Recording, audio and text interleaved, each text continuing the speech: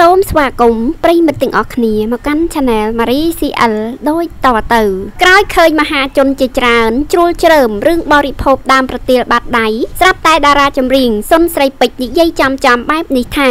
ជាការពិតណាស់ជឿជាក់ថាប្រិយមិត្តពិតជាបានជ្រាបរួចមកហើយថា នៅកម្ពុជាយើងនេះកំពុងតែផ្អើលរឿងបរិភោគដើមប្រទាលបាត់ដៃឬដំបងយៈជាខ្លាំង